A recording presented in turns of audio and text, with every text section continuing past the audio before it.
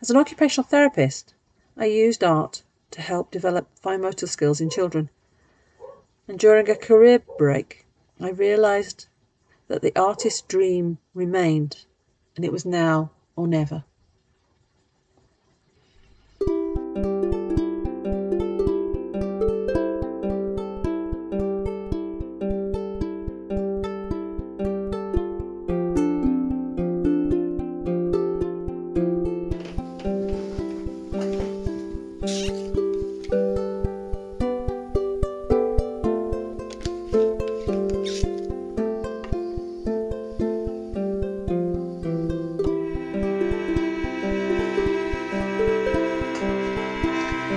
Did I develop this technique?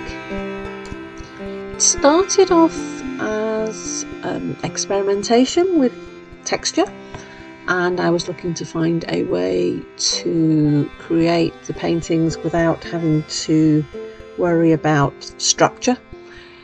And I started off using watercolour and Indian ink, and I thought masking was probably the best way to start so I experimented using a colour shaper and masking fluid. And the first painting was promising, but I wasn't very happy with how thick the lines were and the lack of control was frustrating. And I suddenly remembered I had this set of compasses from when I was a child. I was given them as a Christmas present when I was about 12, I think. Oh, no, 11. And they had um, something called the ruling pen in, and I thought I'd get that out and had a look. Thought that might be quite good for using with masking fluid. And lo and behold, it was, and it was very good. I've since found out that it's something that some art schools do recommend for using with masking fluid, but it, at the time it wasn't something anybody had told me about. Um, I hadn't really thought about it. I then suddenly thought I had all these compasses and they might make interesting shapes. So I had spent I spent a while developing circle based abstracts and that's really where the style developed. I started using cling film. I threw everything I could think of in ways of creating texture, but the cling film worked quite nicely and I liked the ink because of the immediacy of the colour watercolour's great, but to actually get a large quantity of strong colour, you've really got to mix quite a lot to begin with. And it settles out, and it's a bit annoying sometimes.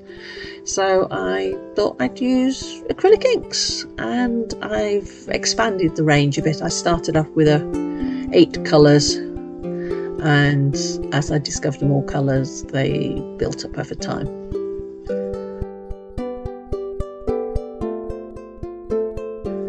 And that was really how the technique evolved.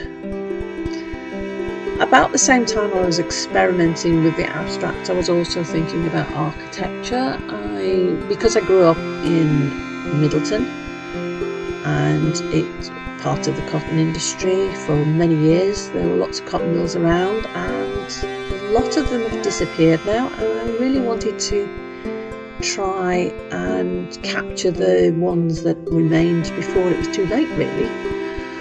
Uh, so I went around taking lots of photographs, and while I was taking these photographs, I discovered other buildings like the bridge on Corporation Street in Manchester, and I really liked this contemporary architecture and started taking photographs of those as well.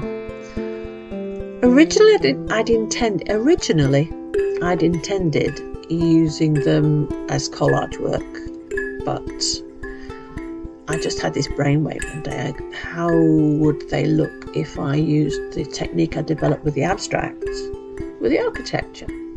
So I did a couple, and the first ones were promising. They weren't brilliant, but that was really the start and I did a few more and the more I did them the more I liked them the more I felt I was achieving something that I was really pleased with and it sort of snowballed since then.